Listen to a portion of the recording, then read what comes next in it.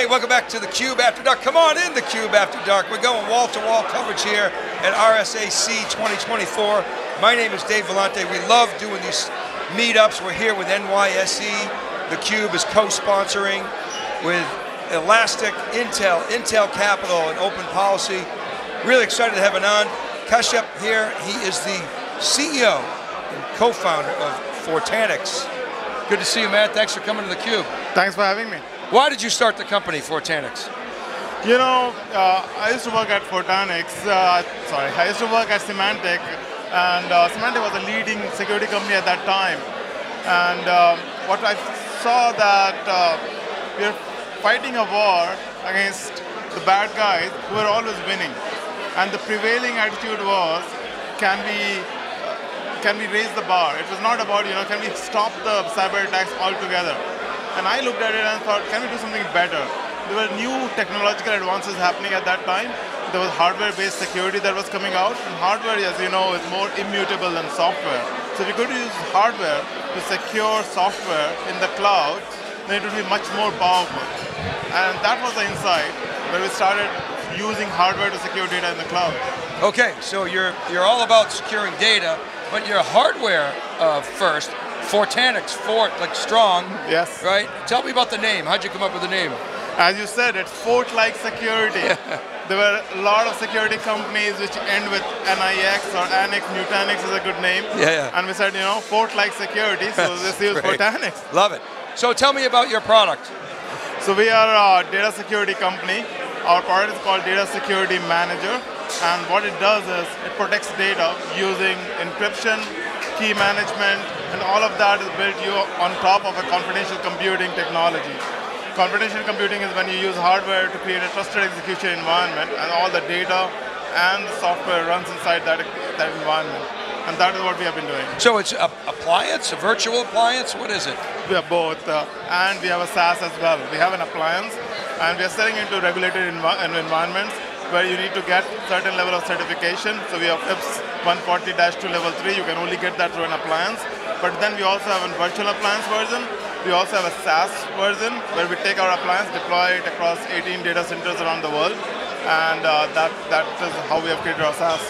So your SaaS version is what? Software-defined Fortanix? Is that what it is? Or? Uh, you can say that, yeah. But, but I don't have to install anything. You don't have to install anything. You sign up, you get an API key, you start encrypting your data right away. And and where does where does the the, the code and the system live? Is in the cloud? I can put it on prem as well. With you appliance? can. So appliance you can buy. You can run it in your own data centers in your own environment. SaaS is running on our appliance, but in data centers around the world. So think of it like a cloud, pure play cloud. You just sign up and start using it. When did you start the company? 2016. 2016? Yes. Wow, so you're dealing with a very challenging technical problem, yep. building on top of confidential computing, which was just kind of emerging as a category at the time. Um, so what was the technical challenge of getting your product to market? You know, the funny thing is when we started, the term confidential computing didn't even exist. Right, yeah, exactly. We used to describe it as, you know, we secure data at rest, data in motion, and now we are securing data in use. Later on, the industry standardized the word or the phrase confidential computing, and now everybody knows what it is. But the challenge initially was availability. It was hardly available. Only Intel was the only chip which had confidential computing, and Microsoft Azure was the first cloud to have it. But over time, it has improved. There's more availability across different chip vendors, more on different cloud as well. So now it's much easier to go and deploy something in confidential computing. Yeah, I mean, all the cloud vendors have it. Yeah. Right? Intel has it. ARM obviously is announced. Um, so, okay, so where are you in your cycle? Are you scaling? We are in scale mode. Yeah, we have raised multiple rounds of funding. We did a Series C a couple of years ago, and right now we are at a stage where we are scaling. We are developing the business while we are developing the product as well. We are looking at some major industry trends like post-quantum computing, post-quantum cryptography. That's one of our focus areas. The other focus area for us is AI, just like everyone. You know, AI is a big trend, and confidential computing has the potential to really, really create secure AI, and we're looking at that as well. How much money did you raise? We raised, uh, so far we have raised $120 million, and uh, the last round was $90 million. 90, and what was that? Series Series C. Series C. Yeah. Okay, so you're there. You got product market fit. Yeah. You're scaling go to market. Tell me about some customers. What's what's like the typical customer for you? Is it a is it an enterprise? Is it a somebody in between? The, the, a, a, service provider? Our focus is on enterprise, mm-hmm. uh, and we generally sell into three major categories of uh, customers: financial services, large banks. A lot of large banks are our customers. Healthcare is the other one and then the third is uh, public sector government. As you can see, all these three sectors value their data a lot. So wherever data sensitivity, data security is very important, we are applicable over there.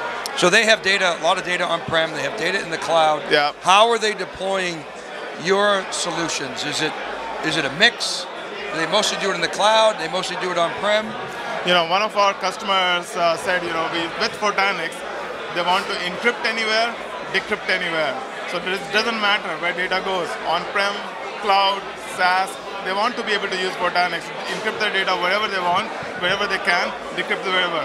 So with our products, since it's available on-prem, it's available as SaaS, it's available as a virtual appliance, you can really encrypt your data wherever you want, decrypt it wherever you want. And what's your AI play? Is it a, is it a situation where now AI has expanded the, the, the threat surface and created new attack vectors that you can protect? Explain that.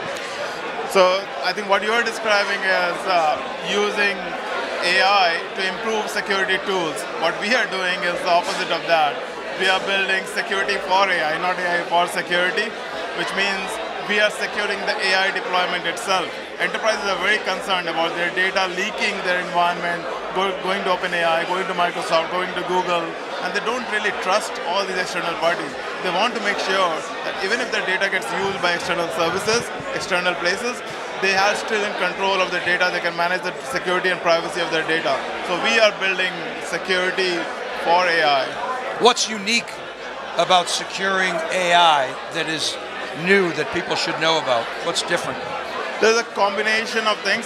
There's not one single thing, but having a confidential computing based platform on which AI runs that itself gives it confidentiality, it gives it tamper-proof or integrity protection, and then on top of that, there has to be a control and policy layer that goes on top.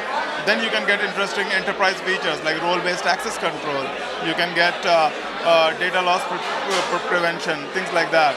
So a combination of the control layer and the bottom confidential computing layer makes it more. We've talked a lot about confidential computing, but yes. we really haven't explained what it is. Maybe for those that don't know what it is, we, essentially you're talking about fencing off access to yeah. certain components from anything that shouldn't have access, including the cloud vendor, including the, the, the virtual machines, anything. Explain. Yeah, to me, confidential computing is very simple. It provides two basic security primitives it gives you confidentiality or privacy. Anything that runs inside that trusted execution environment, which forms the confidential computing, is private. Nobody can look at it. Your root user cannot look at it. Your cloud provider cannot use it, look at it. Your service provider cannot look into it. That's important. The second important security primitive that confidential computing provides is integrity protection. Now, if somebody tries to modify this, the code that is running inside the trusted execution environment, you can you can detect that. There is attestation. You can sit outside and see using remote attestation. You can figure out, oh, the code has been modified. It's not the right code. You can't use it anymore.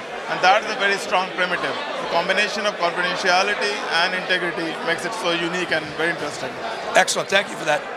What are your top priorities in the next 12 months? What should we be watching for in terms of indicators of you guys executing? So at RSA, we just announced a new product that we call Key Insight. Key Insight has the capability to go in the cloud, scan for keys, encryption keys, scan for all the services that are there in the cloud and see how they are using those keys. So now you have an inventory of how the encryption is being used inside your cloud environment. This is very powerful. A CISO wants to know what's going on and they want to use it for getting ready for post-quantum world when PQC algorithms need to be deployed as the quantum computers come and they break traditional cryptography. So we're very excited about that. In, in this RSA, we are, we are demonstrating that in our booth. It's quite a show, isn't it? It is, absolutely. Have you been to a number of them? Yeah, I've been Yeah. coming here many years. Yeah, yeah, of course, with your background in Symantec. Yes. Anand, thanks so much for coming to the Cube. Sure. Appreciate it. Good Thank luck with much. everything. All right. All right, thank you for watching. Keep it right there. This is Dave Vellante, and we're here at Lamar, part of RSAC. We're here with the NYSE and some of our other partners. Keep it right there. More action from the Cube after dark. Right back.